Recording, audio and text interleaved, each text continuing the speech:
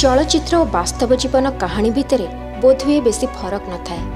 ଅନେକ ଜାଗାରେ ବାସ୍ତବ ଜୀବନର କାହାଣୀକୁ ନେଇ ସିନେମାର ନିର୍ମାଣ କରାଯାଏ।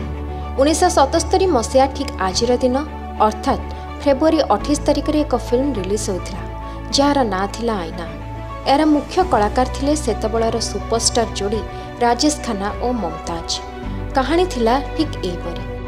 ଜଣେ ଝିଅ ନିଜ ପରିବାରର ଦାରିଦ୍ର୍ୟ ଯୋଗୁଁ ଭାଇକୁ ମେଡିକାଲ ପାଠ ପଢ଼ାଇବା ପାଇଁ ନିଜର ଇଜ୍ଜତ ଲୁଟାଇ ଦେଇଛି। କାରଣ ଫି ଦେବାକୁ ସାମର୍ଥ୍ୟ ନଥିଲା। ଏ ସିନେମାଟି ବିଷୟରେ କହିବାର ତାତ୍ପର୍ଯ୍ୟ ହେଉଛି ଠିକ୍ ଏହିଭଳି ଏକ ବାସ୍ତବ ଘଟଣା ଘଟିଛି ସୁନ୍ଦରଗଡ଼ ଜିଲ୍ଲା ବନ୍ଧମୁଣ୍ଡା ଅଞ୍ଚଳରେ। ଏକ ଘରୋଇ ସ୍କୁଲର ମୁଖ୍ୟଙ୍କ ପାଖରେ ନିଜ ଇଜ୍ଜତକୁ ବନ୍ଧା ପକାଇଛି ଜଣେ ଭଉଣୀ। ନିଜ ସାନ ଭାଇର ସ୍କୁଲ ଫି ଦାଖଲ କରିବାକୁ ଯାଇ ଦୁଷ୍କର୍ମର ଶିକାର ହୋଇଛି ଝିଅଟି। ରାଉରକେଲା ସହର ବନ୍ଧମୁଣ୍ଡା ଥାନା ଅଞ୍ଚଳରେ ଘଟିଛି ଏଭଳି ଅଭାବନୀୟ ଘଟଣା।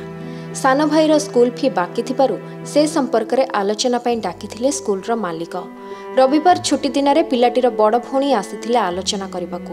ହେଲେ ସ୍କୁଲ କାର୍ଯ୍ୟାଳୟ ଭିତରେ ତାଙ୍କୁ ଦୁଷ୍କର୍ମର ଶିକାର ହେବାକୁ ପଡ଼ିଛି ବୋଲି ସେ ଅଭିଯୋଗ କରିଛନ୍ତି। ଘଟଣା ଘଟିଥିଲା ଗତ ଡିସେମ୍ବର ମାସ ଆଠ ତାରିଖରେ। ହେଲେ ଅଭିଯୁକ୍ତ ତାଙ୍କୁ ଭୟ ଦେଖାଇଥିଲେ। ପୁଣି ସ୍କୁଲରେ ଚାକିରି ଦେବାର ଲୋଭ ମଧ୍ୟ ଦେଖାଇଥିଲେ ବୋଲି ପୀଡ଼ିତା ପୋଲିସ ଆଗରେ କହିଛନ୍ତି। ଅଭିଯୋଗ ପାଇବା ପରେ ଅଭିଯୁକ୍ତଙ୍କୁ ଗିରଫ କରି ପୋଲିସ କୋର୍ଟ ଚାଲାଣ କରିଛି। ହେଲେ ଅଭିଯୁକ୍ତଙ୍କ କହିବା କଥା ରାଜନୈତିକ ଶତ୍ରୁତା କାରଣରୁ ତାଙ୍କୁ ଫସାଇ ଦିଆଯାଇଛି ସେ ନିର୍ଦ୍ଦୋଷ। ଉଣେଇଶ ବର୍ଷର ଜଣେ ଝିଅ ସେ ଯାଇକି ବଣ୍ଡମୁଣ୍ଡାରେ ଥାନାରେ ରିପୋର୍ଟ କଲେ କି ତାକୁ ଦୁଷ୍କର୍ମ ମାମଲା ହେଇଛି ବୋଲି ଗୋଟେ ସ୍କୁଲ ଭିତରେ ହେଇଛି।